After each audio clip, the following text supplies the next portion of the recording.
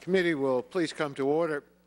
Uh, Today, the committee continues consideration of H.R. 2454, the American Clean Energy and Security Act of 2009, sponsored by myself and the chairman of the Subcommittee on Energy and the Environment, Mr. Markey.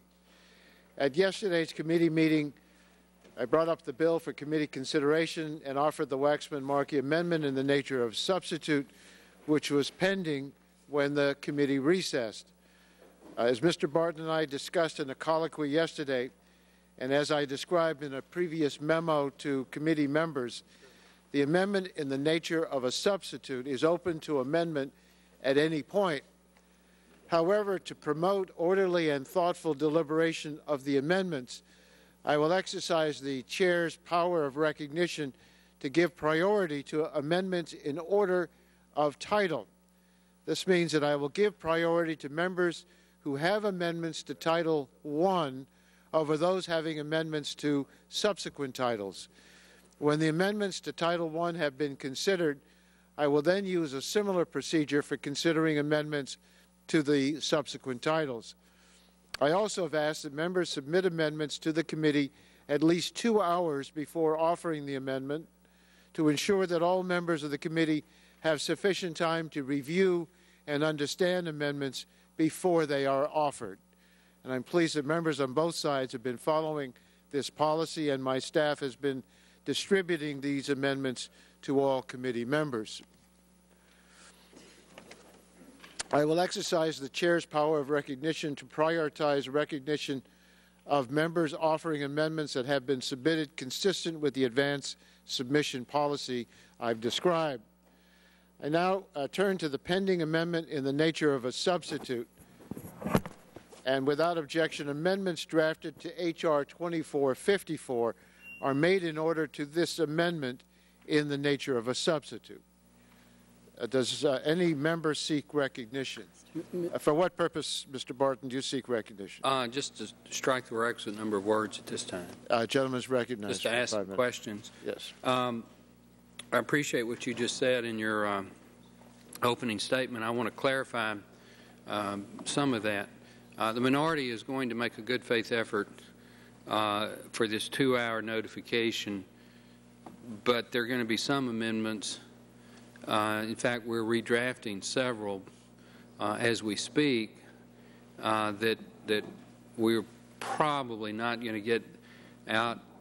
Well, we could get out in two hours' time if we if if we uh, go as long as I think we're going to go. But there will be some amendments that that that will be timely for specific titles that will not meet the two-hour notification. So what what's your how do you handle an amendment to Title One uh, before we go to Title Two if it's not out within two hours of consideration while Title One is under consideration? Well, I would hope that if members have amendments to Title I, they try to get out as quickly as I possible. We're gonna- And if we, uh, we are not closing out a title.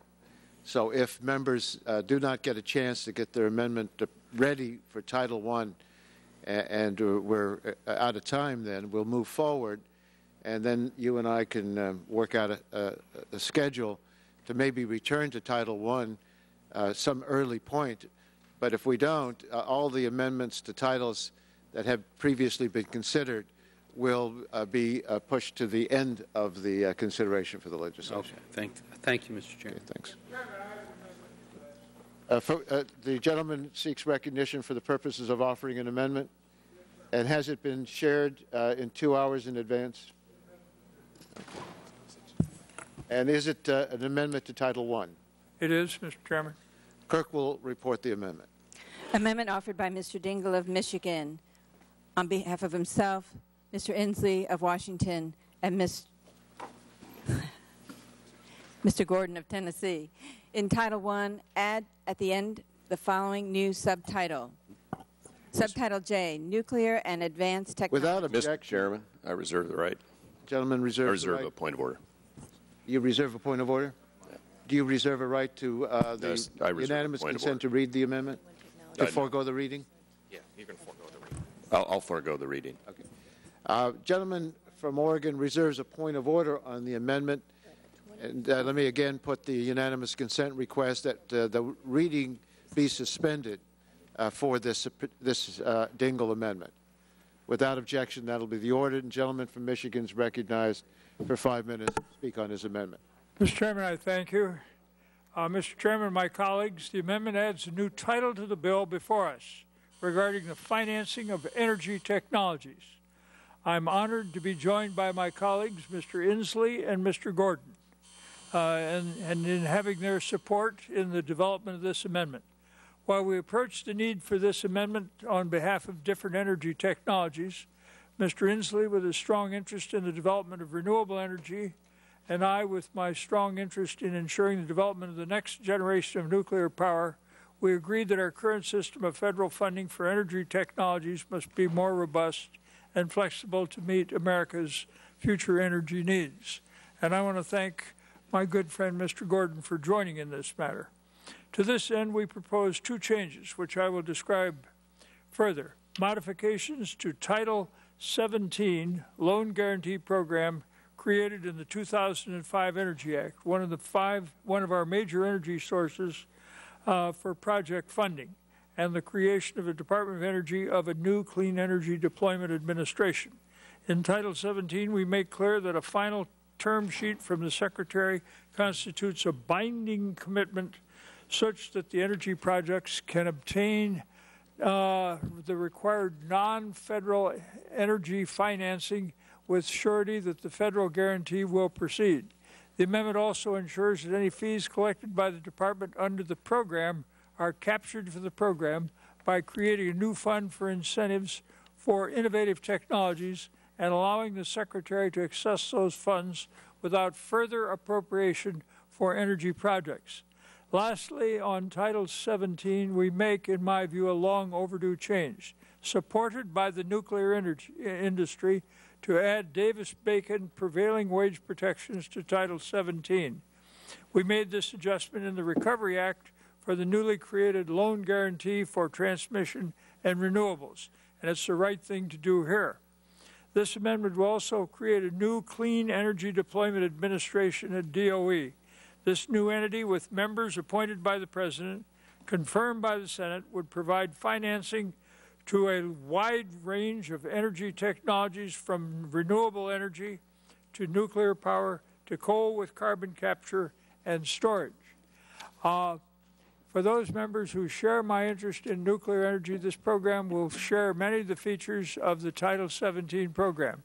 It will provide 80% of project costs but it will avoid duplication with Title 17.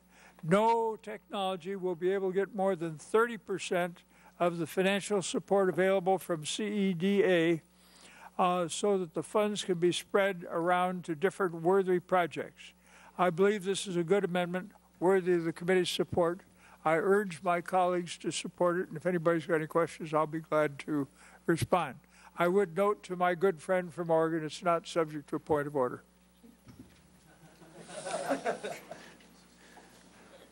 Thank you, Mr. Dingell. Discussion of the uh, Dingell amendment? Mr. Chairman, Martin? um, I have questions uh, Gentleman is recognized for five minutes. for the uh, for the counsel. Um, this new subtitle is a brand new program that's not in existence. Is that correct? Section 191 that would be created under Subtitle J um, those are revisions to an existing program, the Title 17 Loan Program, uh, which was established under the uh, Energy Policy Act of 2005. And there are several additional sections, starting with Section 192, that involve the creation of a Clean Energy Deployment Administration. So that's a brand new program. That is a new program. Okay. It's going to be in the Department of Energy.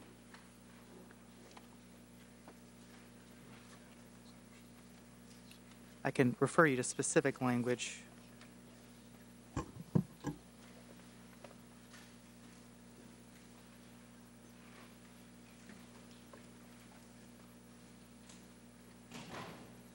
Um, on page 12 of the amendment, uh, it reads, there is established in the Department of Energy an administration to be known as the Clean Energy Deployment Administration.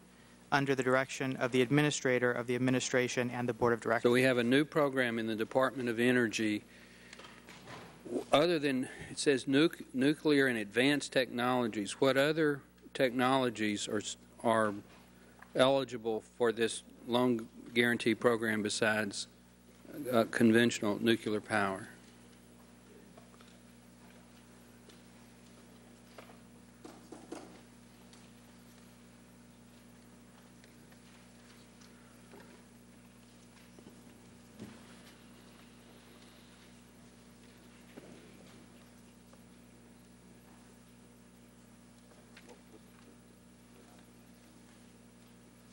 If the, if the There's author, if the author of the amendment wants to answer, he can answer too.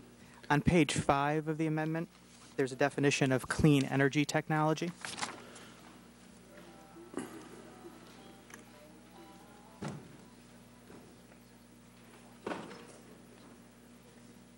So it can be anything.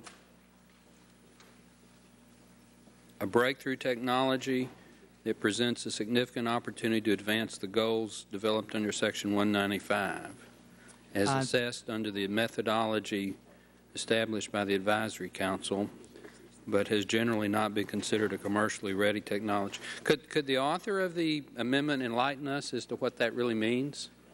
Didn't hear the question? I said, could the author of the amendment enlighten us as to what, what these other advanced techno, what do you have in mind? Well, I'm not exactly sure. Uh, we know that there are going to be new technologies. Uh, we know that, that we're going to have to have to provide ways of getting them funded and financed where there is no other source of funding through the regular through the more regular channels of commerce. For example, tidal, uh, perhaps direct on-stream uh, generation through through uh, river generation, uh, perhaps some unique kind of wind or solar, uh, perhaps uh, uh, generation of power through energy gradients, differentials in the ocean. So it's really open-ended. I mean, it, of course, you don't have a clue. if you're trying to generate new energy and generate new sources, uh, you've got to allow uh, the department to have a mechanism for getting these new kinds of energy on the market and getting them and getting them developed. Otherwise, we might find them de- being developed in China or some other awkward place like that. Okay. Could, could I ask the counsel or the author, what's the authorization level that we're, we're authorizing for this new program?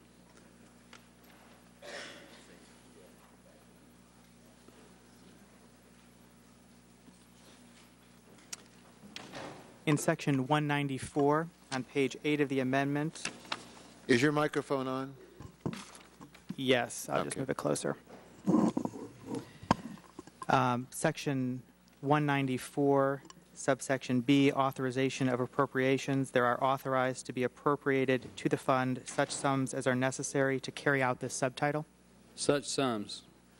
Could, could the author of the amendment enlighten me as to, are we talking about hundreds of millions such sums, hundreds of billions of such sums, trillions of such sums?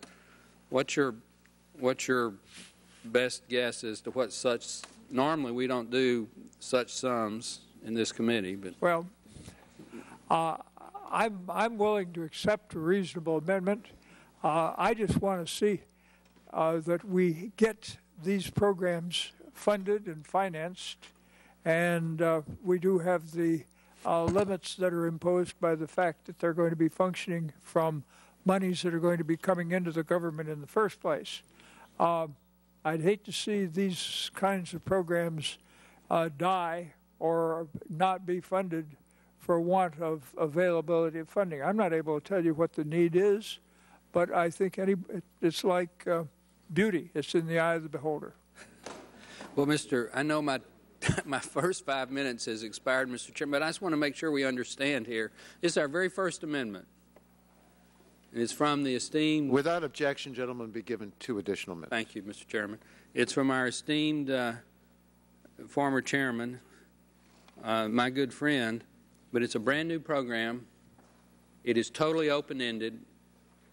Uh, There's really no definition to what these advanced technologies are, and it's totally open-ended as to funding. So it, it's, it's somewhat uh, ironic that our very first amendment out of the box um, is an open-ended definitional, definitionally, definitional program and open-ended in terms of funding program. Um, so I would, I would, well, I'm certainly not opposed to the concept. Um, I understand what what a nuclear technology is, but um, I would say I have to oppose this in its current form because it, it just doesn't have enough structure. Gentlemen, yield to me. I'd be happy to yield. It's not unusual uh, to have uh, authorizations, uh, such sums as may be necessary, that would then be up to the President's budget and uh, the budget enacted by the Congress, and then the specific appropriation decided upon by the Appropriations Committee. So I, I just wanted to make that one point. But I also wanted to uh, thank Chairman Dingell and Mr. Inslee and Mr. Gordon for their thoughtful and balanced amendment. I think it's a good one. It, it has uh, sensible reforms to Title 17 loan guarantee program and a clean energy deployment administration to provide financial assistance to nuclear power as well as renewable and uh, other advanced technologies. Uh, we want to promote the domestic development and deployment of clean energy technologies by establishing a self-sustaining clean energy deployment administration. So I uh, uh, thank you for yielding to me, and I, I, uh, I, think it's a good amendment, and I'm sorry to disagree with you with all due respect, but I think it's It won't amendment. be the first time in this markup, the last time in this markup, Mr. Chairman. And I'm not totally opposed to the concept. I just think it needs a little more structure. Um, if, if Mr. Inslee or Mr. Gordon have any ideas, I think if we could put some limiting factor in in terms of an authorization and, and some definition in terms of technologies that are available, we could probably accept it. The gentleman, would the gentleman yield to me? I think my time's expired, but to the extent I have time, I'll be happy to yield. I ask the gentleman to be given one, one additional minute. Without objection, that'll be the order. Um, I want to I want to thank my good friend from Texas. We we we are close to agreement here. We have a situation where there's a lot of things that we have a chance to do but can't do under the bill as drawn because there's going to be a lot of kinds of energy development that will not be able to get funding unless we provide a mechanism whereby that can happen. This will make those things happen from the uh, rather from a, a proper government source. This is going to be the subject of, first of all, the continuing process of the Congress, but it is also going to be subject to the, to the budget process. And I would just say to my good friend that unless we put something like this in here, you're going to find that we are not going to be funding a lot of projects that are going to be necessary for addressing the other problems that we have with regard to the bill, including how we're going to take care of the American energy industry in both the production of new mechanisms for energy production, but also in terms of offsets and things like that. Gentleman's, Gentleman's time has expired. Uh, Mr. Inslee seeks recognition. Thank you. I just want to respond to uh, Mr. a couple of Mr. Barton's concerns as far as limiting factors. Um, you know, this whole idea is is that the devil is in the details, but the devil is actually in the financing when it comes to really getting clean energy going. And on page uh, five, I just want to allude to the language that limits the program to breakthrough technology, and that's technology with a with a significant opportunity to advance our goals. That's generally not been considered a commercially ready technology as a result of high perceived technology risk or other similar factors the fact of the matter is we've got some brilliant Americans out right, right now, and they try to cross what they call the Valley of Death. And the Valley of Death is the, the, the gap between venture capital, which helps these people get their technology out of the garage into a prototype, but then you have to scale up to the first commercially viable scale of projects, like uh, uh, algae-based biofuels with Sapphire Energy, like uh, lithium-ion batteries at A123 Battery, like energy efficiency at Verdiem, and I want to point out as well, this is not just energy generation. This is designed to help high technology in transmission and storage and efficiency. So when you've got a company like Verdiem in Seattle that does energy efficiency and they want to scale up, it helps them. So I want to point out that this is trying to get that group of people that are trying to cross that financing valley of death to try to get them to the first commercially viable scale project. I want to point out two things I think are, are of interest in this bill. First off, we do have a limit of 30 percent. We do want to make sure that no one technology is the only one that is financed. And one of the wisdoms of the successes of this bill, I think, is that we have addressed all of the potential technologies from coal to nuclear to solar to wind, you name it. We are being eclectic and multivariate, and that's the right approach. Second, I think there is a little more work. I hope we, as we continue this process, uh, in our original bill, Mr. Dingell and I introduced, we had a provision for indirect financing. I hope we can find a way as the matter progresses to get back to that issue, and I commend this amendment. Thank you. Would the gentleman yield for? Yes. Would would would the authors of the amendment be willing to put some structure into the actual bill like you just talked about? At least you gave some examples of the kind of technologies. Would the, would the gentleman from Texas yield? I'm, I'm just asking a question, Mr. Inslee, but I'm sure he'll yield to you. Well, Mr. Certainly. Inslee can speak for me. Mr. Yield to Barton to Inslee to Dingell. Well, I, I, I thank my good friend. The answer to the question is yes. We'll be happy to talk to our good friend from Texas and try and see to it that his concerns are met, because I think they're valid and legitimate. And we can do this as the matter goes forward. Thank you. Mr. Chairman, Fur- Further discussion of the amendment. For what uh, purpose uh, strike the last word. Gentleman is recognized. I I might direct this uh, question uh, to uh, my good friend, Mr. Dingell. I know it's, it's my understanding that uh, similar language uh, has now uh, been adopted in the Senate. Uh, and the one difference between this amendment as it's proposed and what the Senate actually did was on page 26, where it says that no particular technology has provided more than 30% of the financial support available. And my question is, we don't know what the uh, appropriated level will be because that's going to be up to the appropriations uh, committee. So we don't know how much money it, itself. But let's say that they do come up with uh, some great new, different technology that it's a breakthrough that we ought to pursue. Well, 30 percent may be too little. Uh, 30 percent of question mark. It may be too little. The Senate provision as uh, uh, did not have a limitation on uh, that, that paralleled the 30 percent. In fact, uh, our former colleague, uh, Mr. Sanders from Vermont, offered an amendment to limit it to 20 percent, in essence, uh, about the same, and that amendment was rejected in the Senate 18 to 5.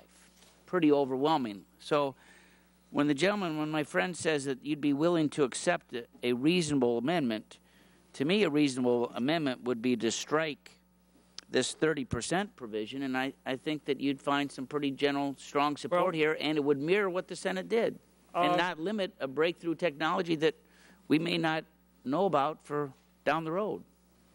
Well, if the gentleman would yield, I- I'd, I'd, I'd like to begin by expressing my respect and affection for the gentleman and think he makes a good point. As the gentleman observed, this is a small difference between our bill and the Senate bill, and uh, with all the respect I could muster for the United States Senate, which occasionally is difficult, uh, I would, I would observe, I'll be happy to work with the gentleman along these lines. I have to tell the gentleman that uh, uh, the, the, the, the concern I have, and that my good friend I think shares, is that not every, rather that one big drain from one particular industry might suck away funding that would go help other industries. Uh, and since a lot of these demands are going to be small from new and burgeoning industries, uh, we might wind up with something like my good friends in nuclear, and I'm very strongly in favor of nuclear, uh, would wind up with a situation where they would draw all the money out and there'd be nothing left for some new kind of energy generation that might be helpful. The gentleman raises a point which is a good one. I would be delighted to work with him because I have great affection for him. Well, well, thank you. Did, would it, would the gentleman consider striking this, and we can continue to work together? Um, I'd, Just- I'd, just I'd be willing to return to it. Um, I've always felt that a bird in hand is worth a couple or three in the bush. All right. Uh, does anyone on my side want any of my remaining time? Mr. Shimkus? I'll yield to Mr. Shimkus. Oh, all right. I yield back. Thank you. Further recognition. Mr. Mark. Thank you, thank you, Mr. Chairman, very much. Uh, This particular amendment um, is a centerpiece um, in the nuclear energy industry's goals for this legislation. This is a provision uh, which uh, helps to provide uh, financing for the nuclear industry going forward. Uh, it is something that uh, is supported uh, on our side. However, it is divided in a way in which other advanced technologies can also derive financial support. Uh, and that's just consistent with uh, uh, any kind of portfolio uh, which is diversified uh, so that everything isn't in just one technology. Uh, but the nuclear energy industry can, in fact, receive upwards of 30 percent of all of this funding. And, and it is why most of the nuclear electric utilities in the United States are endorsing this legislation, Would- by the way. And this is, an addition, this is additional language on top of that that Mr. Dingell is proposing uh, today. So it's the formulation, as Mr. Dingell has it, is a, is a quite um, balanced um, but open uh, uh, agenda, uh, which uh, does give the nuclear industry uh, a financial footing uh, that can help them uh, in the years ahead, uh, as it will with other advanced uh, technologies. So I think it's a, it's a good balance that he has struck, uh, and I urge the committee Would- to embrace would- the amendment. Would the gentleman yield for a question? I'd be glad to. Uh, As the distinguished subcommittee chairman, I want to make sure I understand what you just said. Conventional nuclear energy projects in this section are eligible for loans from this Clean Energy Investment Fund. Is that correct? Is that correct? eligible for um, loan guarantees from Title 17, and they have access to um, Yes, they are available for loan guarantees from the Title 17 program, and similarly, they are eligible f- from the Clean Energy Development Administration program, yes. Well, I'm not, that's not my question. On page 8 of this amendment in section 194, there is established a Clean Energy Investment Fund. And my question is, is a conventional nuclear generation power project eligible for this Clean Energy Investment Fund established under section 194 of the pending amendment? The- Yeah, the, the, the- the criteria in the amendment is that it will be subsidizing advanced technology. In other words, there, rather than subsidizing already existing technology, uh, the goal in this uh, amendment is to subsidize advanced technology, which the nuclear industry says that they are ready to go and make that investment. And this is going to help them to move to the next generation uh, technology. And that is the objective of the legislation. They're trying to focus on the future, trying to create a portfolio of the future that nuclear is a part of. And this allows them to gain access to the financing for that new advanced nuclear technology. So the answer to that is yes. The answer is What, it what- said, the language itself says, the term clean energy technology means a technology related to the production, use, transmission, storage, control, uh, or conservation uh, of energy that will contribute to a stabilization of atmospheric greenhouse gas concentrations through reduction, avoidance, sequestration. So that's br- very broad language, uh, which, uh, which the nuclear power industry would qualify uh, uh, under, uh, and, uh, and an application, I think, to this Well, it's an important question. I mean, and, and I'm not being argumentative. would, would the gentleman yield? I- I'm, I'd be glad to yield to the gentleman. Conventional sources are eligible for lending under Section 17, or Title 17. Um, Under this, they would not be, but new uh, kinds of generation would be under this. So a reactor that has never been built, but that has had the design approved, a nuclear reactor that has never been built for commercial operation, but is an advanced reactor design Okay. that, that has been approved, would that Would- project be would- eligible for this clean energy Would, investment? would the gentleman yield because he's talking to the partic- particular subject of nuclear. On nuclear, the next generation of, of nuclear would be classed as new kinds of generation and would be eligible both under Title 17 and under these, under the provisions of this amendment. Time of the gentleman from Massachusetts has expired. Further discussion of the amendment? I am still am not sure what the, the I, I had Mr. Markey, I think, give me a yes, and I had Mr. Dingell, I think, give me a no. No, And then I- a maybe. No, I, I agree with Mr. Dingell's interpretation. Under, under the um, Clean Energy Development Administration, I think he properly characterized the, the qualification uh, terms. And under the loan program, it's existing technology under the Clean Energy Development uh, Deployment Administration.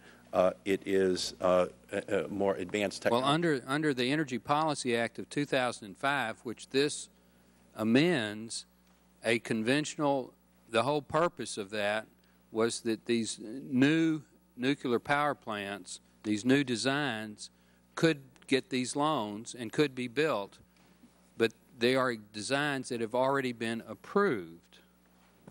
So I, I understand what Chairman Dingell says. He says if you have an advanced reactor that hasn't been approved yet, it would be new technology and it would qualify. But if it was an existing reactor that's been approved but hasn't been built, it wouldn't. The gentleman yield for a Would, moment. would, would Yeah. the gentleman yield, would the gentleman yield? I think we're arguing about something here that, that, that is, is probably not important because It's very important because it's Well, billions of dollars. if the gentleman would permit. Um, what, what we're talking about is the next generation of, uh, the only, the only nuclear that's going to be uh, constructed in this country is going to be the next generation. And so it fits very nicely into what I have said, and it fits very nicely into assuring the loans for the next generation of nuclear. Gentleman yield for a moment. Gentleman's time has expired. Mr. Stearns. Thank you, Mr. Chairman. I just want to ask counsel, uh, on page eight, under section 194, it's mentioned before, it says establish uh, in the Treasury a revolving fund to be known as the Clean Energy Investment Fund. And it talks about such sums as may be appropriated to supplement the fund. Then under authorization, it goes on to say there are authorized to be appropriated to the fund such sums as necessary to ca- carry out this subtitle. he just said is what's So those are the authorization. You go down to expenditure. going to be advanced. It says, "An amount in the fund shall be available to the administrator or the administration for obligations without fiscal year limitation to remain available until expended." Am I correct in saying that this is an open-ended section which will allow this Clean Energy Investment Fund Joe? to Hasn't been in- authorize without limits any amount of money and to expend any amount of money without any time of oversight? That's right. That's correct. Is that correct? Design that has never been built. Um, under section 194, as you said, there is an authorization, and then there's a provision for expenditures from fund. Uh, there's no further language here. But I mean, couldn't you interpret that to mean that you could authorize any amount of money from $1 up to a trillion? You could expend any amount of money from $1 up to a trillion. There's no limitation. If that's, is that true that you could spend any kind of amount of money to develop this clean energy investment fund? Is that true, yes or no? This is subject to appropriations, so only appropriated funds. No, but it's saying without limit. All necessary to carry it out. So the question to you, counsel, is the language as it is, is establishing a clean energy investment fund based upon any amount of money without limit. Isn't that what it says? It's appropriated sums. Yeah, which means any amount of money. That's not what the language says. Well, uh, yeah, I'll yield to my colleague. Thank you for yielding. I, just to, clar to, clarify, Mr. Stearns here, uh, in, in, Section 194 on page 8, it says that uh, this Clean Energy Investment Fund, consisting of number one, such amounts as are deposited in the fund under this subtitle, and then number two, appropriated funds, which leaves the indication that money is coming from two different sources here appropriated funds and those deposited under the subtitle. So those funds under the subtitle, what does that refer to? I believe the language such amounts as are deposited in the fund under the subtitle refers to at the bottom of page 8 administrative expenses. There's a provision there fees. Fees collected for administrative expenses shall be available without limitation to cover applicable expenses. To the extent that administrative expenses are not reimbursed through fees, an amount not to exceed 1.5% of the amounts in the fund as of the beginning of each fiscal year shall be available to pay the administrative expenses for the fiscal year necessary well, I understand that. subtitle. But from the front end, these limitations on the fund on Section 9, but on the front end, they could appropriate, depending upon the appropriators, they could appropriate any amount of, any amount of money to do this.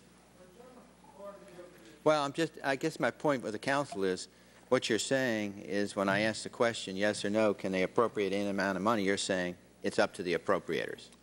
Is that what you're saying? Would, would, would the gentleman yield? Oh, sure. Okay. And I thank him. Uh, there's two sources of funding. One is what the appropriators give, and the other is the money that's paid into the fund as a part of the uh, activities of the people who are uh, the generators of this fund, right? and they're subject to different limitations. And I think you, we can address the concerns of my good friend by identifying what the difference is between the two uh, sources of money in terms of the way they well, are treated. Let me reclaiming my time, Mr. Dingell. I guess the point I'm having trouble with is that it appears to me in this section 194, the bill, the amendment might be very beneficial, but the problem is it appears to me that there's unlimited amount of money that can be appropriated, and then I understand that there's an extent to which there's percentages later, but it looks like it's open-ended both in the appropriation side and the expenditure side, and I just think that's reason enough not to support this amendment, and I just would ask the authors of the amendment to withdraw it to take Mr. Barton's point and Mr. Upton's point, as well as try to establish a little closer fiscal control of what we're talking about here. Gentleman's time has expired. Uh, Mr. Gordon. Thank you, Mr. Chairman. Very, very briefly, uh, we simply can't get there from here in terms of climate change or energy independence without new technologies. Uh, and, and, and, and, some of which are going to have to be transformational. Now, that's going to be expensive. Uh, Chairman uh, Waxman, um, under many legitimate um, demands, uh, simply was not able to carve out, uh, you know, enough money in this bill for the type of research that we need. Again, this is because he, no fault of his own, it's just there are other demands. And, and this is another way to try to leverage uh, those funds. And I think it's very important that we do so. And I think, and to my friend from Florida, we're really getting a little picky about, about the appropriations here. I mean, it's fact of the matter that if the appropriations if they want to appropriate more money than's authorized, they can do it, and they do it sometimes. Oftentimes we say such money as, uh, or such sums as the appropriators deem necessary. So uh, I, I, really, uh, there may be concerns to be had, but I don't think that the sums that the appropriators are going to be, you know, going wild is is one of those. Um, and so again, I think this is, you know, this is an important way to try to leverage to a goal that unanimously I think we would all agree upon, and that is energy independence. Well, the gentleman yields certainly. Certainly, certainly. you mentioned such sums as may be necessary. No, I, I'm saying I'm saying that that is often done Okay. with with legislation, and uh, and again, it's always subject to the appropriators. Also, the appropriators sometimes authorize or appropriate more money than is authorized. So I, I don't think that we have to be that concerned about this as a check and balance. Just, just, for, just as a, uh, as a question, how much money do you think this is going to take? Based upon your argument that the appropriators can appropriate more money if necessary, is there anybody in this room that knows how much I, I don't think any, about I, here? I don't think anybody can answer that until you get further down the road. But the, I mean, but can the we ballpark it? I mean, are we talking about half a billion or? half Well, I mean, trillion the, or- Or, I the- mean, I would think somebody in this room with this amendment could at least give us an idea what we're talking about. there are going to be transformational types of of um, of energies that we can't think of now. Now, if you were to take something that we know of, for, for example, taking nanotechnology and combining that with solar, then you could probably put you know a price tag uh, on that. Um, uh, and, and I think that what we're having here is we're not saying spend as much money till you make the breakthrough. There's still going to be limitations. I mean, you know, there, you know, and there's going to be more than one type of project, and so there may very well be two projects uh, that are affordable, and you make breakthroughs. There may be a third that is, you know, uh, transformational, but it's going to be too expensive, and this Congress is simply not going to vote that much money for it. So, I mean, ultimately, we will have the final say, and I think that's going to be based upon monies available and as well as um, what we feel is the uh, cost benefit ratio. Well, just one last question.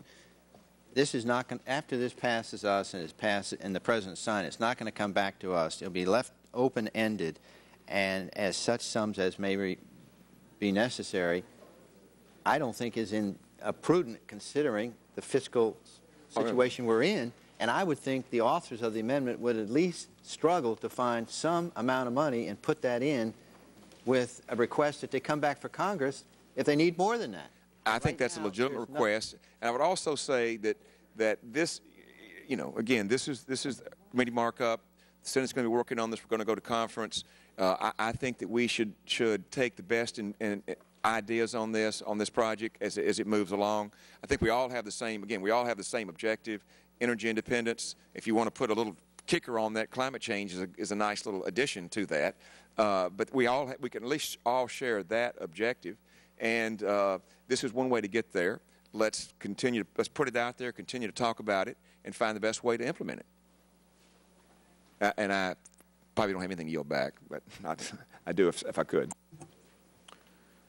Do you have the time? Gentlemen, I think you, uh, gentleman yields back his time. Yes, yes. Mr. Chairman, Who seeks recognition? reserving, uh, I seek uh, to strike the last word. Gentleman from Oregon is recognized. Thank you, Mr. Chairman. I'd, I'd like to ask uh, counsel uh, a couple of questions.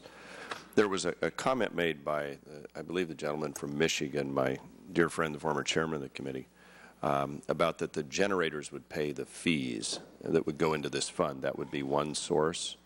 Could you show me who those generators are and what limitations there are on those fees? There are no specific generators listed in the provision. So the fund that's created here, um, I believe it's on, is it on page eight? I'm trying to, pa- yeah, page eight, um, uh, section, or line 13, authorization of appropriations and all that. So when it talks about such funds as necessary to carry out that subtitle, these would all be only from uh, taxpayers. These would be taxpayer appropriated funds. There's no fee money that would go into that. Are you referring to subsection B there? Yes, I am. So those are appropriated funds. appropriated funds. So, but Referred to there. So there's the only money that would go into this clean energy technology fund would be taxpayer dollars, correct? No. That's not correct. So what what are the other sources that would go into that fund? Under sub, uh, under section 194A, um, Yeah. as previously mentioned, there was such amounts as are deposited in the fund under this subtitle. Um, Okay. Subtitle A creates a revolving fund. All right. So under And then it invests in in a portfolio. Is that right? On page 24, Okay. um, section 197 refers to direct support, All right. which would include the issuance of loans, letter of, of credit, loan guarantees, insurance products, and other credit enhancements or debt instruments. Would the gentleman yield on that, on your point? Right here, Mr. Walden behind you. yeah. But, but to counsel, it doesn't mean that the industry is not compelled to put money into this fund. I was, I was just saying that re- repayment of loans would go into Right. the revolving fund. But So there's that no, as, as, as to his point, there's, industry is not compelled to put money into this fund. Uh, There's no requirement industry put any money into this fund, is there? I, I don't believe there's any requirement that anyone put money into the fund. So it's a, it's a fund with an open-ended authorization, right? And so there's no limitation on how much appropriators could, or the Congress could dump into this fund, correct? It- Such sums as are appropriated. Okay, and then, um, and then whatever, the other fees that come in are because out of this revolving fund, there, this advisory board or this new entity is going to invest in new technologies by granting loans, correct? Loans and other forms of assistance that are listed. And of those loans, then, as they get paid back, um, this advisory board can assess fees on those loans, correct? On page eight, I believe. understanding believe, of the provision uh, line 22 of page eight. refers to administrative expenses. For So the- they can assess any level of administrative expense on these loans, correct? There's no limitation on the overhead for this program, is there? There's, at the top of page nine, uh, B there, fund, to the extent that administrative Okay. expenses are not reimbursed through fees, an amount not to exceed 1.5% of the amounts in the fund as of the beginning of each fiscal year shall be available to pay the administrative expenses for the fiscal year necessary. Right, but that one and a half percent fund limitation is, is off of the, uh, the revolving fund proceeds, correct? So who do they assess the fees on? Amounts in the fund, that's correct. In answer to your first question. But this says to the extent that administrative expenses are not reimbursed through fees, then an amount not to exceed one and a half percent of the amounts in the fund as of the beginning of the, should be, okay.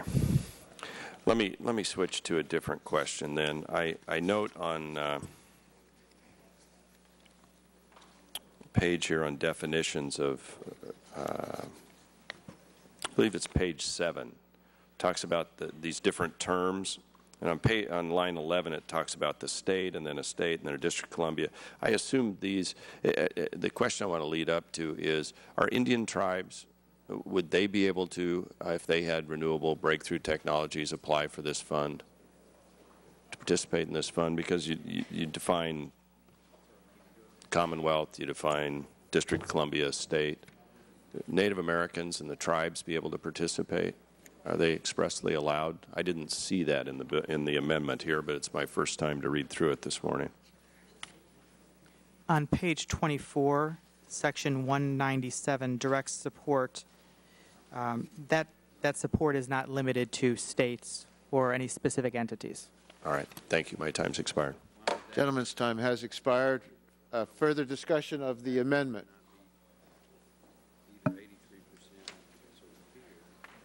In order of seniority, who seeks recognition? Yes, gentlelady is recognized, Tennessee. Thank you, Mr. Chairman. I know we're kind of out of um, sight, your line of sight over here. Uh, I move to strike the last word. I have a question I'd like to ask of counsel, if I may. On page 10 of the, um, of the amendment, at uh, where you have Initiative 5, it's on line 19, the transformation of the building stock of the United States to zero net energy consumption. I was seeking clarification on that. If this is moving to, if the objective would be to move to no energy consumption in addition to a base standard that would be established or referenced at some point, or is it just a drafting error and is to be to zero net energy emissions and seeking clarification on that. The term zero net energy consumption isn't defined in the amendment, uh, but this term is used in section 195, which refers to deployment goals for the Clean Energy Deployment Administration. So, uh, reclaiming my time there, if you're not sure then if it means zero emissions or no additional consumption. The term is not defined in the amendment. Thank you. I have one additional question for you. Would the gentleman, gentlelady yield on that? I'll be happy to. Just, again, the question, so there is no baseline for which we're going to pro- project zero net energy use. There, we have not established a baseline. I, Counsel, there's no baseline established. Is that correct? With respect to zero net energy consumption? Correct. I don't see one in the. So, so how do we, how are we going to project if we're at zero net energy use if we don't establish a baseline? I would ask the question to the author of the amendment. If the gentleman would yield. I would uh, yield. I our, our purpose here is. Oh, I'm sorry. It's not my time. I, I reclaim my time and I yield to the gentleman from Michigan because I think this is a central point of what we're trying to figure out. Is it no new emissions? Is there a standard that is laid down somewhere that we can have no further consumption than what is considered a primary consumption? And for clarification, I yield to the gentleman from Michigan. Well, I, I think this is an important point, but I think we want to stimulate both.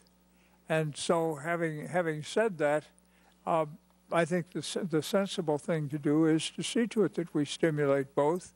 And if we start establishing baselines and trying to define which we're going to put money into, we may very well find that we're denying ourselves the growth of new opportunities and new kinds of energy resources. reclaiming my time, I, I thank the author of the amendment for that, but I would like to suggest that before we move forward, that we decide if there is a standard that we can generate no consumption past a certain point, or if there is a baseline from which we are building and saying we do not want to go above that, or people are going to have to buy carbon credits, or if we are trying to move the building stock toward a zero emissions, I would just seek further clarification on that issue. And the authors of the amendment, I would love to hear from them, or let's set it aside and come back to it when we have a definition that says this is what we're going to expect of our building and construction community in this country. General Lady yield I do yield to the gentleman from Washington. The intent of this, if, if, if you look at this language, this is not talking about zero net energy consumption in the United States. It refers to the transformation of the building stock of the United States to zero net energy consumption. What that refers to is basically evaluating a house or a office building rather than the entire United States. And what the goal is, and we are not there yet, but this is an aspirational goal, is to build our homes so that they don't use net energy. Now, those homes exist today in the United States. I visited some on a little place called Lopez Island, Washington, a couple weeks ago. It's a low income housing development, and they have built houses that, through a combination of photovoltaic energy and passive solar and straw bale construction that does passive solar heating, they use no net energy in that home through a combination of good insulation, passive solar, and photovoltaic. That's the aspiration that Reclaiming my to. time since I'm almost out, and I appreciate the gentleman's um, explanation of that.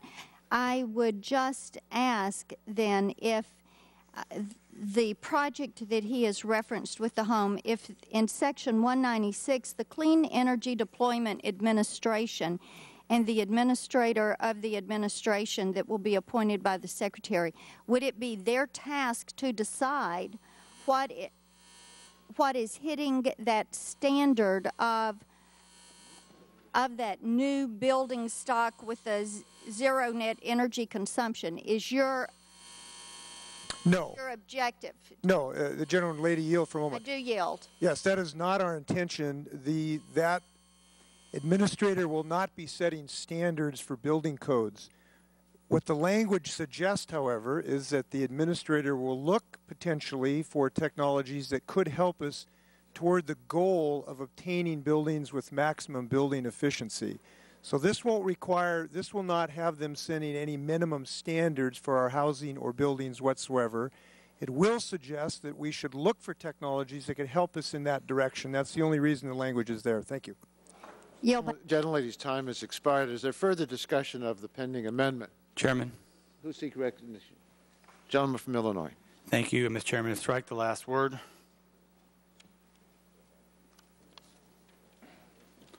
Thank you. Thank you, Mr. Chairman. The, um, I I guess a couple questions I have. Um, One would be to, um, on page five, um, a line to counsel, line 19, 20, and 21, says technology related to the production, use, transmission, storage, control, and conservation of energy. Would uh, the carbon capture and sequestration qualify under those, that terminology? This definition doesn't specify specific technologies. The Clean Energy Deployment Administration would have to interpret this language and implement it. Thank you. So I, I think what would have been helpful is if in the drafting of this amendment, as my colleague from Washington State did, and he listed um, various items that these funds could go to, that, that they would be, and if, if we get to a point of modifying and, and clarifying uh, this amendment, um, probably could be helpful to have some of these listed down, and then you could do, and, and others that may be uh, not. I guess the concern is that this may be all new technology focused, and the concern is what about current technology that's being tested but not deployed? We all know that carbon capture and sequestration is probably 10 years down the road.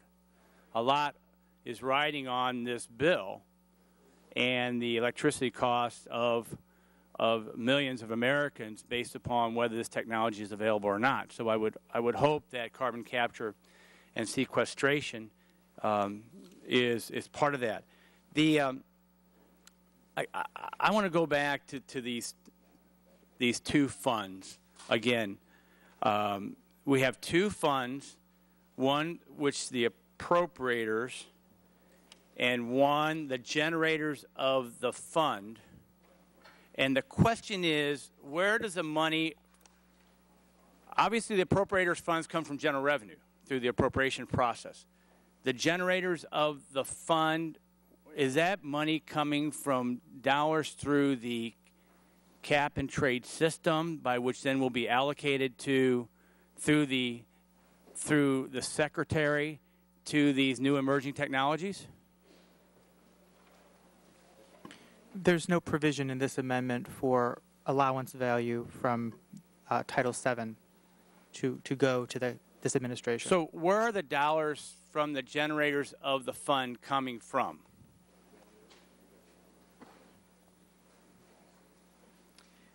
Uh, Section 194 again specifies that it would be either through uh, appropriations or amounts deposited in the fund under the subtitle.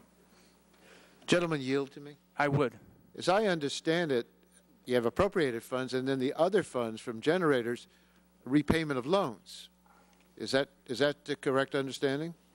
That and fees, Mr. Chairman, that's correct. Fees. Now, who would pay the fees? Uh, The fees would be paid, on- under C2, the fees would be paid either by um, those receiving financial assistance or, if necessary, out of the fund. Okay. So you're borrowing money, um, and you're going to repay the loan, and then you have to pay fees, and the fees are part of this fund. To counsel or to chairman or Uh, If I may help, the gentleman yields for a moment. I mean, that, the intent, the fees are the interest on the loan payments, basically, and the fees associated with administering the loan. That was the intent of the language, and that's, there's, there's no hidden fee structure uh, obligation in the bill. And by the way, one other thing, if I can, Mr. Shimkus, there's one thing I think I wanted to make sure you were aware of in the bill, because you've, you've raised this issue a couple times about coal. If you look at page 26, this, this bill is very much technology neutral. All God's children of inventors can participate in this fund, but it does have a prioritization if you look at the bottom of page 26. It basically provides that um, that funds will be prioritized to provide the maximum practical percentage of support to promote breakthrough technologies. It is oriented towards trying to move forward to new non-commercialized technologies. It's my belief that coal sequestration fits within that classification and money would be available. Yeah, the gentleman would, I, I appreciate that, but my time's almost expired, and I wanted to ask one more question. Um, and, and the concern is, and this is just a statement why I'm in opposition to this bill. Um, the uh, 30% of the financial support available, which uh, the uh, ranking member of the Energy Subcommittee, uh, Mr. Upton, was talking about, is, is, is too low an amount for nuclear power, and new technologies in nuclear power. I think that's the same issue that was addressed in what the Senate amendments had a, had a concern of. And I think if we want to uh, really be support of the expansion of nuclear power, that percentage would, has to would be. the gentleman yield? I'd be, well, my time's expired. Well, I ask unanimous consent that the gentleman have two additional minutes. I thank Without the objection. Chairman Emeritus, and I'd yield to uh, my colleague, uh, Mr. Markey. I thank the gentleman very much. And I'm just going to follow up on what the gentleman from Washington just said. Uh, yes, there is a limitation of 30 percent for any one technology, uh, and for the sake of the discussion, that might be nuclear technology. But that also then opens up the fund for carbon capture and sequestration advanced technology as well, which is also of interest to our committee because we're trying to create a balanced long-term energy portfolio for the country, um, but it would not limit it to that as well. It also would open it up for renewable technology. So again, we're, we're not trying to allow any one of our energy technologies to be the only basket that we're, uh, that we're relying upon. So, um, so yes, uh, uh, carbon capture and sequestration, what? in order to advance coal technology, uh, is something that will benefit from this. And by not allowing one technology, nuclear, to gobble it up in totality, it does allow for coal to be a beneficiary. Yes. I yield back to the would, would, would the gentleman yield to me? I would. I, would I want to thank the gentleman. Yield. He raises a good point, and, and I think the committee does need to understand this. If you go to page 8, you'll find the Clean Energy Investment Fund is the subject of our discussion. That's section 194. there will be a clean energy investment fund uh, that, that's, that's here referred to, and it will be composed of such amounts as are deposited in the fund under the subtitle. That's from fees and things of that kind. And then such other funds as may, such other sums as may be appropriated to supplement the funds. And so then from that uh, comes, comes the money and that comes through the uh, at line 13 authorization of appropriations. And then you you you come down uh, under C expenditures from the fund and the fund amounts in the fund shall be available to the administration for obligation without fiscal year limitation to remain available until until expended. Then you go on down you got 2 which is the administrative fees. So you have different sources of money, some of which are fees and things of that kind, some of which are appropriated funds, and the Secretary spends them to make loans and things of that kind for the purposes of the Act. And I know my time's expired. Thank you, Mr. Chairman. Uh, a lot of fees. Uh, fees will be passed on to the ratepayers, and yield back. Gentleman's time has expired. Is there further discussion of the pending amendment? Gentleman from Kentucky. Thank you very much, Mr. Chairman, and we appreciate very much the time spent on this amendment because uh, those of us, particularly who represent coal areas, um, have a lot of concerns about this bill. But uh, in the base bill, we establish a carbon storage research corporation. And it's my understanding that there's going to be like a billion dollars a year for 10 years available for research on carbon capture and sequestration. Uh, and then in this amendment, and I just want to verify this, uh, un, uh, under Chairman Dingell's, former Chairman Dingell's amendment, anyone, clean energy technology would include carbon capture and sequestration as well? I, I would ask the counsel that question. Well, let's see if the author, one of the the authors author. of the uh, amendment, Mr. Inslee, do you have an answer? Uh, Yes, as I expressed to Mr. Shimkus, um, carbon sequestration uh, would be, in my understanding of this, covered. A prioritization would be given Well, to under your, you you said un- it's your understanding, or are you emphatic about it? Or Yes, I mean, that's, it's in the bill. It, it covers all technologies that have the capacity of reducing carbon emissions associated with energy. And I believe that would include uh, uh, technologies that sequester carbon from coal-fired plants. I see nothing to indicate it would not. S- So, uh, under the base bill, we have the Carbon Storage Corporation. Correct. And that money, and then uh, uh, applicants, applications would be accepted under this amendment for carbon capture and sequestration. That, that is my understanding, well. and it is our intent. Now, I want to say, again, there is a prioritization for the breakthrough parts. And who makes that, who sets that priority? The, uh, the, uh, the governing uh, entity, which is defined in the bill, and I believe coal could compete, coal, sequestered coal could compete on the same grounds with any other But the, technology. but the priorities would be established by those appointed to serve on the advisory. That's correct. And I, again, uh, this amendment does not uh, in any way indicate that just because coal has another billion dollar fund to means they're not eligible under this one. They are, it is eligible under this fund. But it will obviously depend upon the advisory council. Now, and, and just to summarize this once again, money can be appropriated for this uh, purpose, for this new entity within the Department of Energy, and then interest generated by the loans made, that's where the fees would come from to, uh, that's referred to in here as well.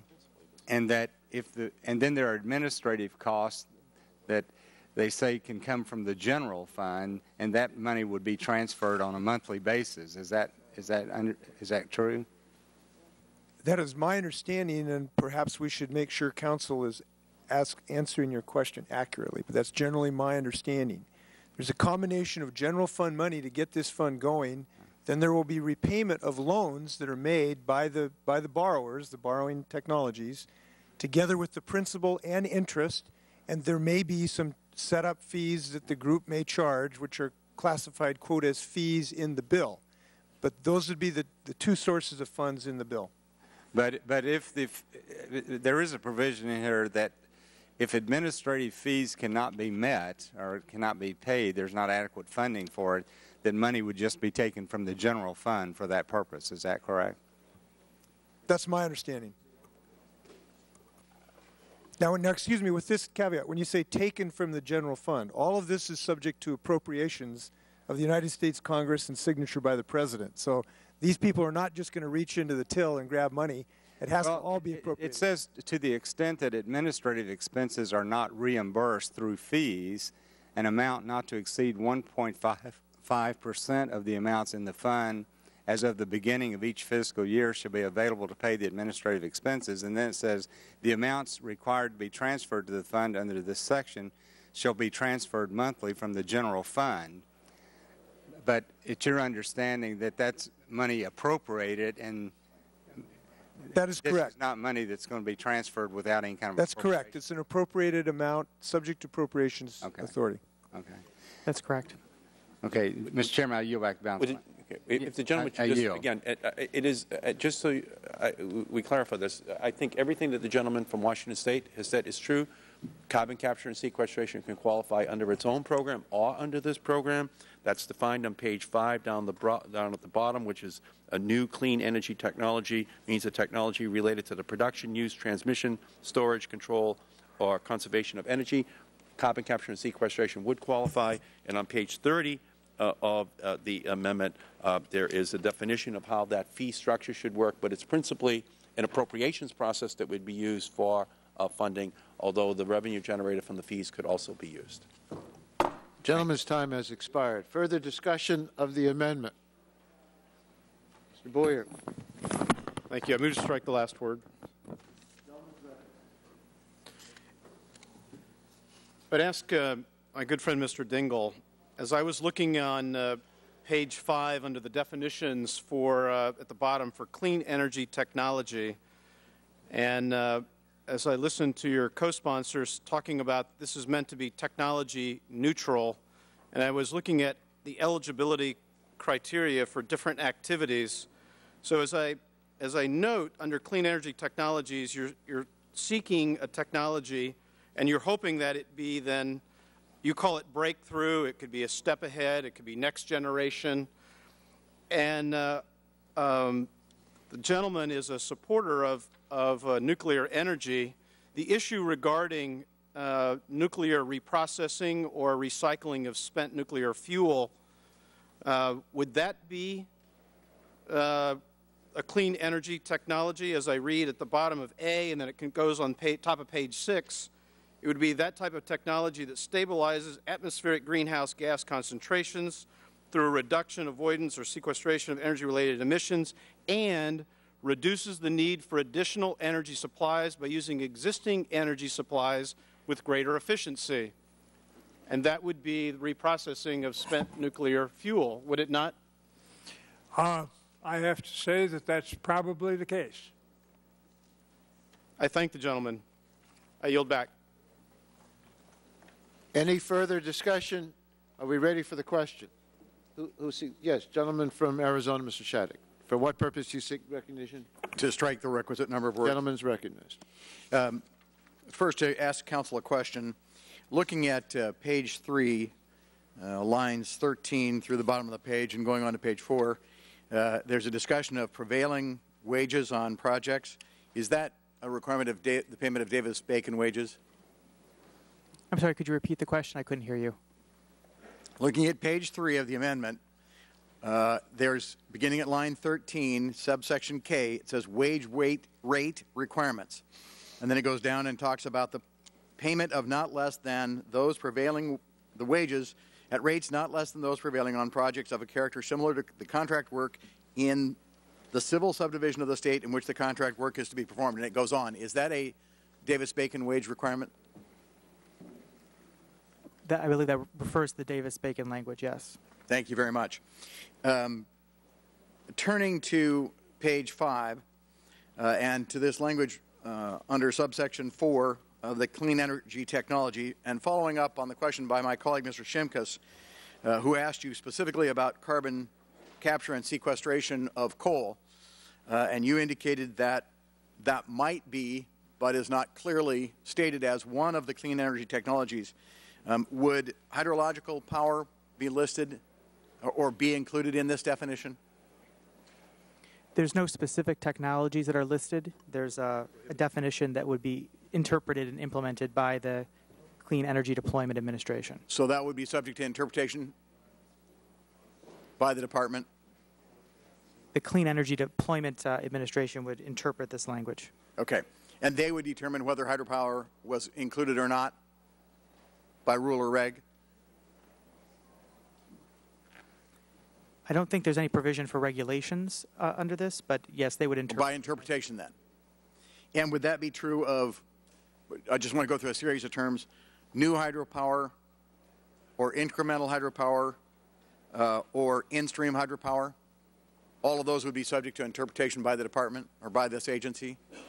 That would be true for any specific technology. Yeah, um, then I'd like to ask a question of the authors of the bill, any one of the authors who, of the amendment who might be willing to answer it. Mr. Shimkus asked uh, whether or not this would apply to clean coal technology. Uh, I believe one of the authors uh, indicated that it was his intent, at least. Um, uh, I'd like to ask the authors whether or not it is their intent to include as well hydrologic power, new hydrologic power, incremental hydrologic power, uh, or in-stream hydrologic power. Um, but Chairman Yield? Certainly. Fact of the matter is that's pretty much defined at, uh, number four under uh, at page five. I would note uh, that Mr. Shimkus also made the observation that would it would it cover uh, nuclear reprocessing? Uh, that it, it could, but I would note that uh, one of the reasons we put the 30% limit in is to, is to prevent that from transpiring. uh, because we don't want one technology to soak all the money out of this particular fund. Well, reclaiming my time, I understand the 30% limitation, and I would agree with the gentleman that the language uh, at the bottom of page 5 and the top of page 6 would appear to include all of the items I've listed, including the item Mr. Shimkus listed, plus all of the various hydropowers that I've listed. But counsel has said all of those be, would be subject to interpretation. My question of the authors of the amendment is if that's their intent, uh, I'd like to know it uh, so that that is at least on the record in this hearing. Uh, and second, would they be willing at some point to consider including specific references to those types of clean technology, which will reduce So much- greenhouse gases? But- Yielding yes again. Would the gentleman repeat that because there's so much racket in the, in the back? I'm not hearing the gentleman. Let's have order. Um, I would agree with the gentleman that all of the types of energy that I listed, hydro, new hydro, incremental hydro, and in-stream hydro, would appear to be included in the broad language appearing at the page, bottom of page 5 and the top of page 6. However, counsel has suggested, in answer to my question, that that all would be subject to interpretation because none of those items are specifically listed. Therefore, my, my question is, is it the intent of the authors to include those so that we get that in the record? Yeah. And second, would they be amenable to, at some point, listing them so that it would not be left to the vagaries of interpretation? And Mr. Markey seems to be agreeing, so maybe I can get his agreement. I, I, I'm, agree, I'm agreeing that the technologies would be inclusive but not exclusive. Certainly. So we don't want to exclude other innovative technologies. So the, the technologies that you are listing obviously could qualify, but we don't want any list to then be exclusive because then that would be something that would be limited to the imagination of the members of this committee rather than the scientific and, and uh, engineering community. I agree with the gentleman wholeheartedly and thank him. I yield back the balance of my time. The gentleman's time has expired. Is there further, is there further discussion? If not, let's proceed to consideration of the amendment. All those in favor of the Mis- uh, Mr. Dingell Chairman. amendment will say aye. Mr. Chairman. Opposed, no. M- Mr. Chairman, just as a matter of protocol, aren't I supposed to withdraw my reservation? Which I Gentleman- do. Gentleman is correct. Mr. Chairman. The uh, point of order that was reserved by the gentleman from Oregon has been withdrawn, and the vote has been taken. and Mr. the- Chairman, Who is I ask for your recorded vote. Gentleman is asking for a recorded vote. Uh, Let's proceed to a recorded vote.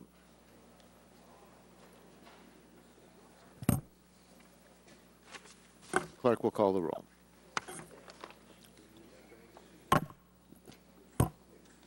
Mr. Waxman. Aye. Mr. Waxman votes aye. Mr. Dingell. Mr. Dingell votes aye. Mr. Markey. Aye. Mr. Markey votes aye. Mr. Boucher. Aye. Mr. Boucher votes aye. Mr. Pallone. Mr. Gordon. Aye. Mr. Gordon votes aye. Mr. Rush. Ms. Eshoo. Ms. Eshoo votes aye. Mr. Stupak. Stupak votes aye. Mr. Engel. Mr. Green. Ms. DeGette. Ms. DeGette votes aye. Mrs. Capps. Mrs. Capps votes aye. Mr. Doyle. Mr. Doyle, aye. Ms. Harman. Ms. Harman, aye. Ms. Schakowsky. Ms. Schakowsky, aye. Mr. Gonzalez. Mr. Inslee. Mr. Inslee, aye. Ms. Baldwin. Ms. Baldwin, aye. Mr. Ross. Mr. Weiner. Mr. Weiner, aye. Mr. Matheson. Mr. Matheson, aye. Mr. Butterfield. Mr. Butterfield, aye. Mr. Melancon. Mr. Melancon, aye. Mr. Barrow. Votes aye.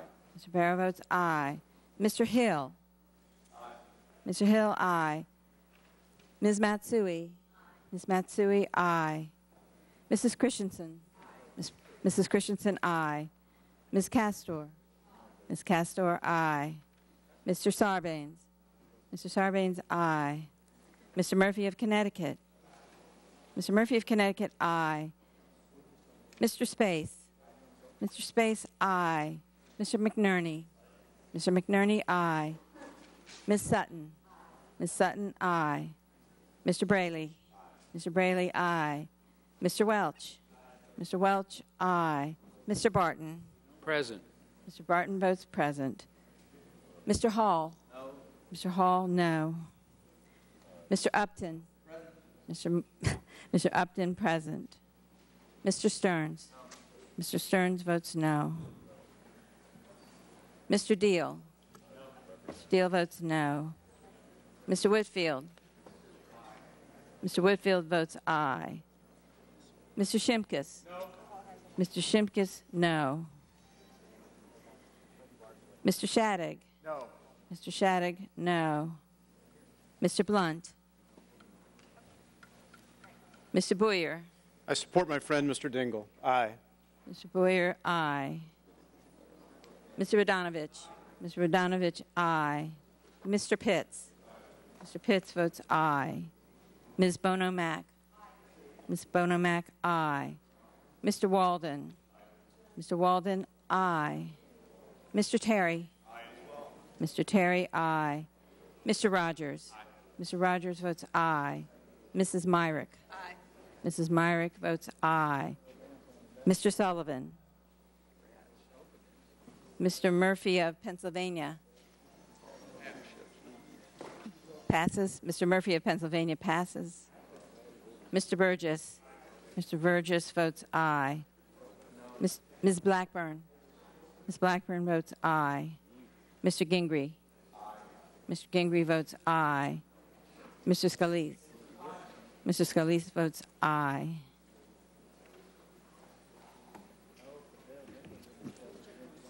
Would you uh, call the members who have not yet responded? Mr. Pallone.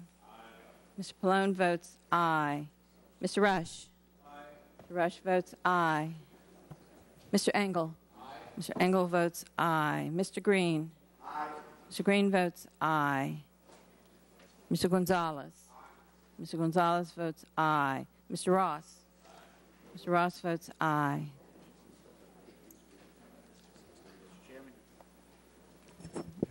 Mr. Chairman? Yes. I'm going to switch to aye. Mr. Upton? Mr. Upton is off present and votes aye.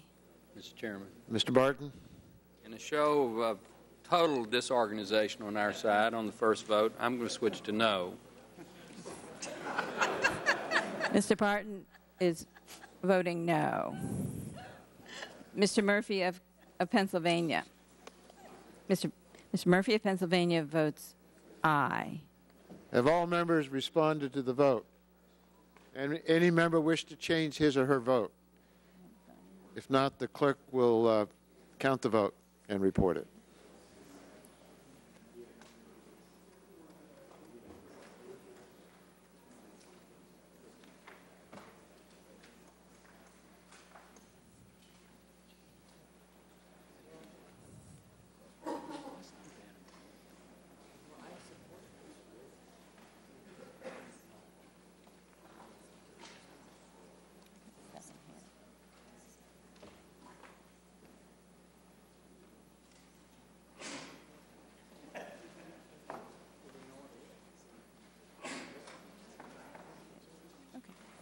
Mr. Chairman, on that vote, the yeas were 51 and the nays were 6.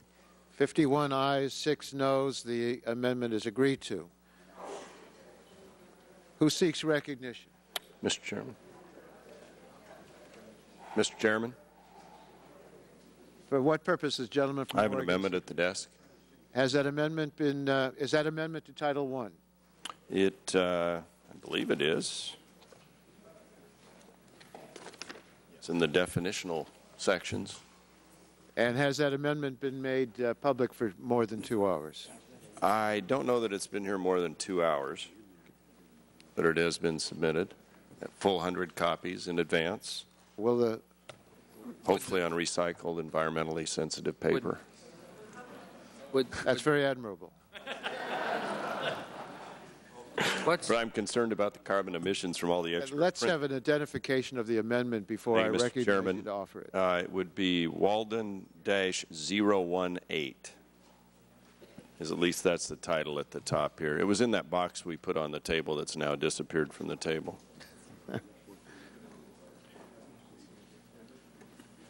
We haven't, we haven't seen it. If the gen- uh, Mr. Mr. Chairman, I'll reserve a point of order. Well, there's, there's no amendment pending to offer a point of order. The chair uh, will, will uh, uh, re- recognize the gentleman at, at a later time. Well, can I inquire, Mr. Chairman, as to what happened to the box of amendments that we put on the table? As They are You can somewhere. inquire, but the chair does not have an answer to that. Well, I hope it hasn't gone into the great biomass pile in the sky or something. When amendments are submitted to the clerk, that a uh, PDF is made of the amendment and circulated to all the uh, members of the committee. That will give members an opportunity to read it in advance and think through whether they wanted to support it or oppose it or to ask questions about it, and so we can have a uh, an appropriate discussion on point. Mr. Chairman, if I may inquire. For what purpose does the gentleman seek recognition? What- uh, just uh, a question of process. The gentleman is recognized to ask a question. So they're available on a PDF. How would I access that here? I've got my laptop. How do I get it?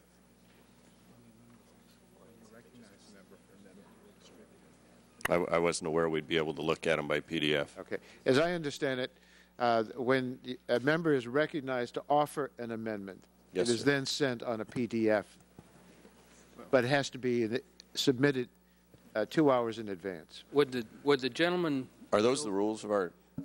No, the, the, the- would, would the gentleman from Oregon yield on his, I, I will, Mr. Chair. Before you do that, hold, hold off a second, because I might have given you misinformation. Just, Okay. gentlemen, suspend for a minute. How many amendments did we send in last night at 10 or 11? Be a little bit more. He wants to know how he gets Uh, If the gentleman uh, would Yes, permit, you asked a question of uh, how do you get the PDF? Right. Now, I've been informed that when an amendment uh, is being submitted to the desk, that a PDF is sent to each member's office. And when, when a member is recognized to offer the amendment, then a hard copy is distributed to the members here uh, at the, uh, at, at the uh, dais. So um, unless we have this amendment in advance, it is not, uh, uh, it is, the chair has set out rules by which he will not, refuse to recognize members for an amendment that has not been uh, made available two hours in advance. Now, if we can get your amendment and, and we continue to talk about it, we might have that two-hour time limit met. But uh, Point of order, Mr. Chairman? who, who's seek, who is making a point of order? well, Mr. Scalise, but I also have a question. Well, point of order is a priority over you- a question. You just said that a member would, you would refuse to recognize a member who didn't have an amendment in prior to two hours in advance. That's not what you had said yesterday when you and uh, Ranking Member Barton were having your colloquy on the procedure. You said there would be a precedent given to members that had it over two hours, but you would still recognize people who didn't have an amendment at the desk two hours in advance, and now you're saying that you would refuse to recognize. So what changed between yesterday? Well, I think there might be a misunderstanding uh, on your part about yesterday's colloquy. Members will be recognized. Members will be recognized to offer an amendment that is pertinent to the title under consideration, or uh, and or that has been available for two hours. And we uh, will not close out any titles, so members will be allowed to offer uh, uh, uh, an amendment at a later time. We're not closing out anybody's opportunity to offer an amendment. We just simply think it's fair for members to know what's coming before it's offered. Further, dis- I would yield to. Point of order. Ranking Member Mr. Barton. Barton, you had a question. I just want to point out some flaws here, and it's a question. The minority submitted approximately a dozen amendments to the majority staff last night after our Republican uh, caucus at 6 o'clock. Now, so they've been available for two hours, at least to the majority staff, but we didn't, we haven't submitted all of those amendments to the desk this morning. Mr. Dingell's first amendment was not seen by the minority last night, but it was, it, it has been circulated to, today, but it, he was recognized within the, this, this, this two-hour window. So we've got a situation here, if, if your decision point is two hours at the desk opposed, as opposed to two hours to the staff, it's going to be basically an extremely difficult markup to comply because Gentlemen, yield to me. I Be think, happy to I yield. think I can clarify it. Uh, There were amendments submitted by your side of the aisle last night. There are only two of those amendments that are to this title, but all of those amendments would be subject to being called up uh, and meet, and will meet the requirement of the two-hour time limit. Mr. Dingell's amendment amendment was circulated to all members last night, so it was available for members to see it. Uh, We are going title by title, so members will have the opportunity to know that th- the subject in that title will be debated, and they uh, can be here if they want to debate that title or, uh, or choose not to be here uh, if they don't want to get involved in that particular title. So if, if the gentleman's amendment was part of the amendments submitted by the staff last night? I don't think this one was. Okay. No, in, in, if I might, Mr. Chairman, no, it was not. We were busy photocopying and working with legislative Well, counsel. we're, we're going to make the amendment in order at the uh, earliest possible time in compliance with the, at least, the, I think, the, a process that's fairest to all members, and that's that they have a chance to see the amendment. Well, I don't, I don't disagree, Mr. Chairman, they should have a chance, but this two-hour notification requirement is going to mean we might as well plan on being here all next week, because we have over 400 amendments, um, and uh, we're changing them as we go. Um, I, it's not going to be possible to, to put all of those amendments out at the desk uh, in, a, in a two-hour time frame. You're, so you're going to create a situation where, where we seek recognition to offer an amendment, and then just like in this case, Mr. Walden, um, he hasn't had it at the desk for two hours, so it's going to be deferred, and you're going to end up having about 60 or, seven 60 or 70 amendments that are deferred till the end of the week. I, I think I don't see any way I around think you're pa- painting too dire a picture.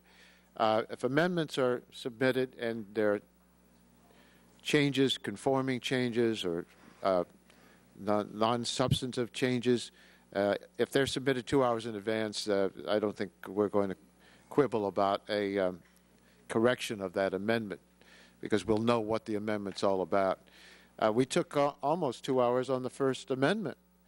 So I, I think, uh, I, I don't want to predict how much time we're going to take on amendments, but if you have 400 amendments, let's see them. And Well, you'll get it- to see them. We're not, it's just And when it gets to the title point- by title, it, it Well, when it'll comes, a while. comes to a title, well, I would urge that members uh, start getting your amendments in on the earlier titles first, That's so that uh, so that uh, we can get them considered. But we're not going to preclude any amendments. Who has an amendment? M- Mr. Chairman, could I get one Yes. other Mr. clarification? Walden. Mhm. i- If I might. Gentleman's recognized, yes. So i- if we are working on an, am- an amendment to your amendment in the nature of a substitute, and, and as we were having that discussion, for example, on this uh, authorized fund in the last amendment, and a member wanted to put a cap on that fund, say, put a, uh, offer an amendment, a secondary amendment of, you know, a billion dollars on that fund, would that type of amendment also then under your proposed uh, act, uh, your, your protocols um, require a, a two-hour delay? Because I know as we've marked up other bills in the Well, if the gentleman would permit, uh, an amendment to an amendment would not be in order. All right. Because we have an amendment pending. Okay, then, if we, for example, had adopted this last amendment as we did in a bipartisan way, somebody then would have to come back and try to amend that later, and it would be a two-hour delay to amend that. Is that accurate? Uh, I, I think that uh, would be accurate. Okay, and, and I, just one final question. These are not actually rules of the committee, correct? This, this is a, a process you're just working through. These are not the rules of the committee, but the inherent power of the chair for recognition can be uh, used in a way that would promote the orderly process of uh, debate and amendments, and we're trying to establish that uh, procedure. Parliamentary inquiry. Who's making the parliamentary inquiry? Gentleman from Florida.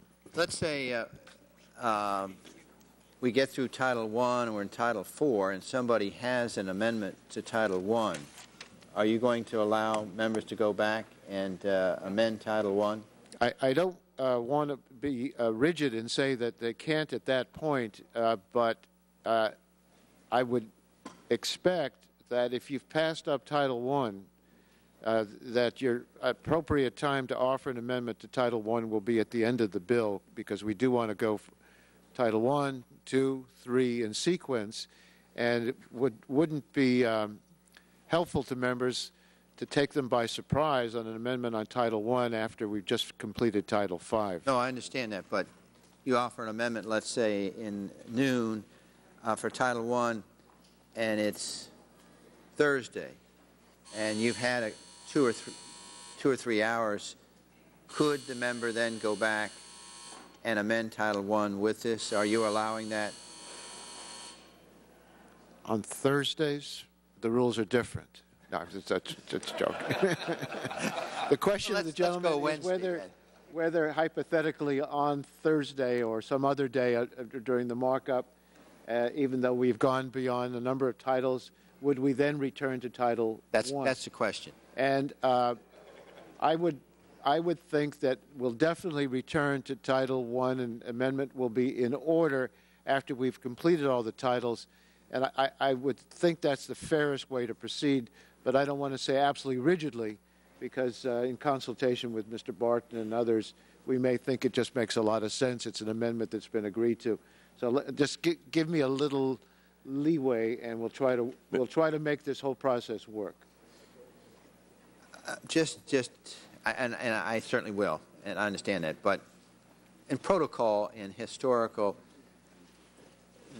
could a person in a full markup, hasn't it been historically that a person could go back to Title I and offer amendment, even though it was past Amendment One? Haven't we d- done that? Well, it depends on the process. If, if we are considering a bill title by title, an amendment may be offered to Title I, and after all amendments have been offered to Title I, the title is closed. But we are not proceeding on that basis. Okay, thank you. Mr. Chairman, one other parliamentary Yes. inquiry. Gentleman's recognized. So that we can help with you- the process you're establishing. Would it be asking too much then of the staff to notify us of when the amendments were received by your office? In other words, we drop off a box of amendments. I don't know at what point that two-hour clock starts. I know when I drop We'd be it off. happy to do that. That way we can not call up amendments that aren't. We'd be happy to do that. Thank you, sir. Well, the chair seeks recognition for uh, someone who has an amendment to, to Title I that has been submitted two hours in advance. Yes, gentleman from Michigan, Mr. Rogers. Thank you, Mr. Chairman. For what purpose do you seek recognition? Uh, to offer an amendment, Amendment 601 at the desk. And is that, uh, if the chair may inquire, an amendment to Title I? Yes. Oh, I'm sorry. Yes. And uh, your counsel. was it uh, submitted last night with the other amendments? It meets your two-hour requirement, Mr. Chairman, with the one exception that there was some, about a two or three-word change in the exact amendment to make it germane. It Didn't change. Could you uh, uh, identify the amendment so we all Yeah. know what, which one it is? Uh, it is Rogers 601.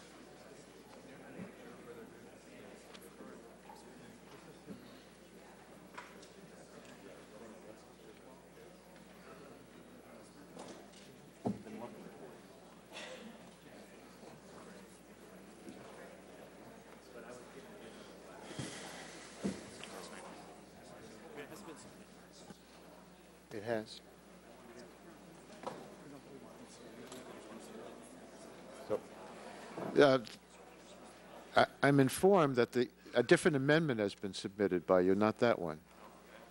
Just as you stated, Mr. Chairman, it, it, sometimes there's perfecting language. The amendment is identical to the intent. Uh, there was a slight change. I think it's three words total to, to make sure that it met, met the uh, conditions of germaneness. The amendment is the same, and they have they have it at the desk. Okay. Gentlemen will wait.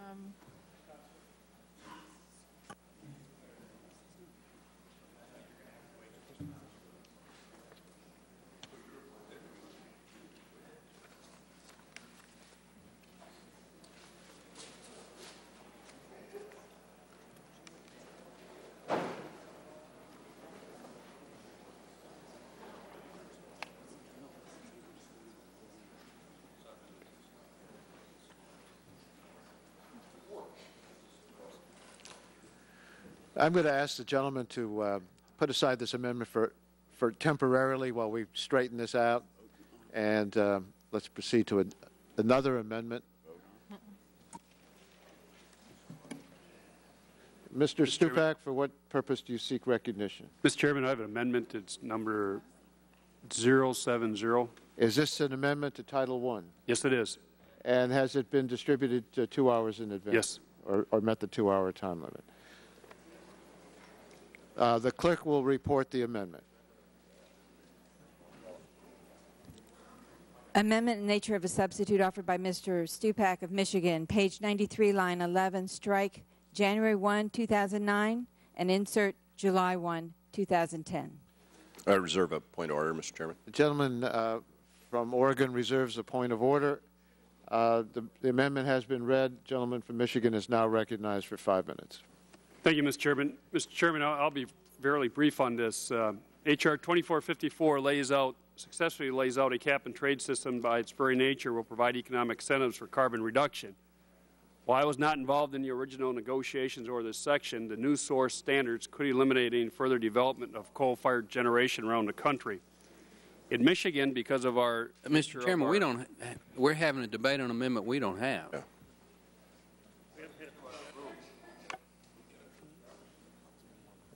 The gentleman from Michigan will suspend. Do we have a hard copy distributed?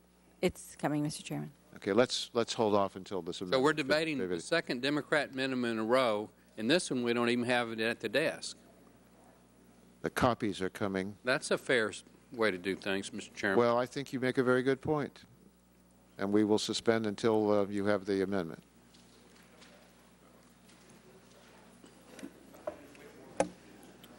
Mr. Chairman, just Was a, a point of not at inquiry, Mr. Chairman. Was Greg Walden not at the desk? No. I don't know. It wasn't Mr. Garza. Just a point of inquiry. Uh, Mr. Stearns? Now, does it, this two-hour rule apply to your side too? Yes. So that means if, uh, if your side suddenly wants to amend their own, as a result of the discussion here, we have a debate, and they suddenly realize they made a mistake in their bill, they want to amend their own amendment, they won't be able to do it without a two-hour delay? Uh, the chair's going to have to deal with real situations instead of hypothetical ones. Let, let's, let's see if we can get this thing to work. Well, Mr. Stupak's amendment is not even at the desk, Mr. Chairman. I'm not a, I, I think I'm probably for Bart's amendment, based on what little I've read about it, but it's not. Okay. Let me. Greg's was at the desk. Mr. Rogers was at the desk, but Mr. Rogers can't be found. The, the chair will. Uh, the chair will indicate that the amendment has is at the desk. It is now being distributed. Uh, the gentleman from Michigan has asserted that his amendment was submitted two hours in advance. We have no indic- we have indication from our staff, and be interested if your staff has other information to the contrary. If not, this appears to be an amendment that would be in order under the um, under the rules that, we're operating under. that you created. Okay. Uh, I'm now going to recognize the gentleman from Michigan for five minutes to uh, speak on his amendment. Thank you, Mr. Chairman. As I said, I'll try to speed this up. Uh, Mr. Ross and I were trying to figure out with all these amendments, uh, we figure, and our math is not the best, but it's going to take 33 days and eight hours to get through all these amendments at the current rate we're going. So let me try to uh, expedite this a little bit.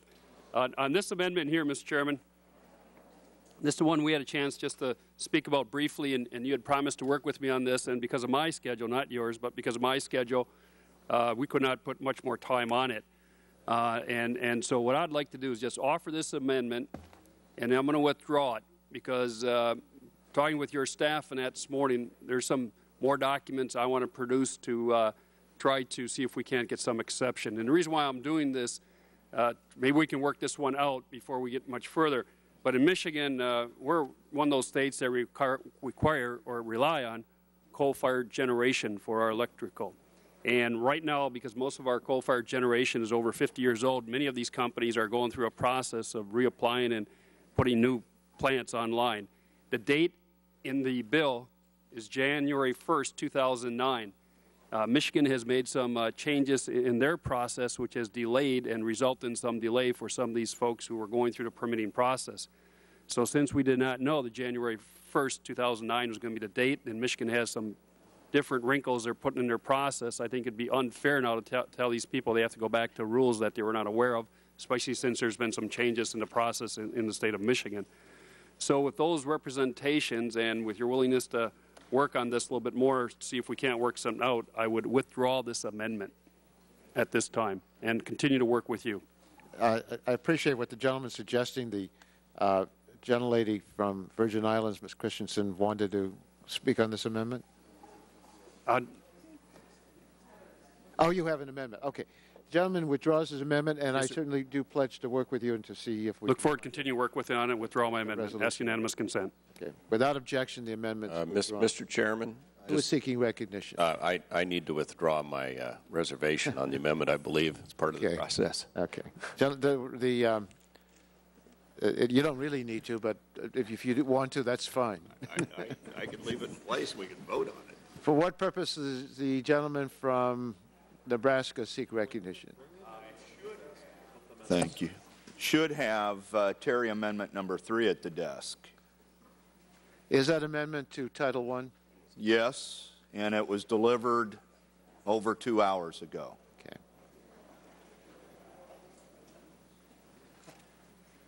Does the uh, clerk have the amendment to report it? I, I don't see the amendment, Mr. Chairman. All right. Mr. Chairman, if I may, uh, there was a process where many staffers delivered in boxes to people on uh, that were, we thought, representing the clerk. Uh, Mr. Mr. it's Terry, amazing your- to your me pro- that all of ours haven't been recognized, but yours have. Your, Uh, you- your, your, Mr. Terry, if you would permit, um, let's take a half-hour break. Let the staffs coordinate Yeah, there, this. there's something very wrong right now. Mr. Chairman. And I let's would see if we can uh, understand where, what amendments are ready to go. Yeah. So, uh, Mr. Barton, are you? uh, Yeah, I just want to, I want to point for the, for, especially for my friends on the majority side. They think that maybe we're sandbagging you. Now, maybe you're not thinking that, but it wouldn't surprise me if you thought we were. We're turning these amendments in. There's some young staffer out in the hall somewhere that literally has to apparently typeset in the entire written amendment into a computer, and that doesn't so if we if we hand an amendment here to the desk, which we're doing, that doesn't count apparently. You got to take it out in the hall, and and this young man or young woman works like a little eager beaver out there, actually typing it in, and it doesn't count apparently till he gets it in the computer. So I, there may be a thousand pages of amendments outside. Well, you, You've got a system that's not going to work, Mr. Chairman. Well, you, well, let's. You may you uh, you make a good point. Let's find out uh, what the eager beavers are doing. Let's have our let our staff uh, coordinate this, and when we get back, we'll be, I hope, ready to proceed in an orderly way. So we'll break now, and uh, Members, if they wish, can have a half hour to grab a bite to eat, but no more than a half hour.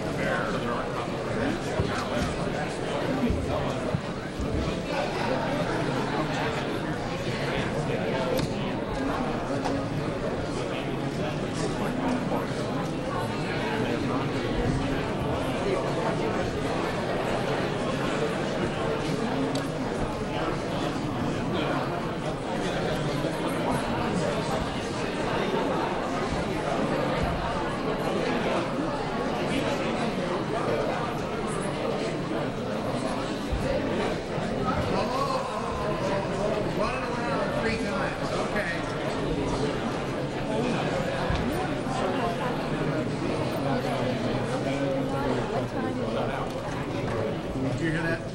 You have to walk your amendment around the ring three times before you turn it in. That's right.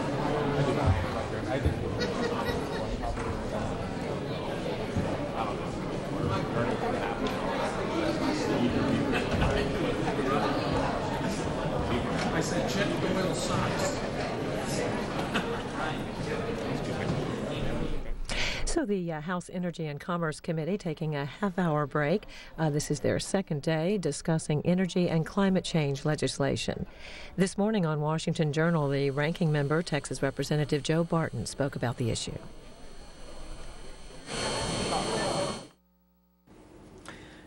Joining us now is Texas lawmaker Joe Barton, the senior Republican on the House Energy and Commerce Committee, which is marking up a bill this week uh, to overhaul the energy uh, system in the country as well as combat global climate change. But first, we wanted to talk to you.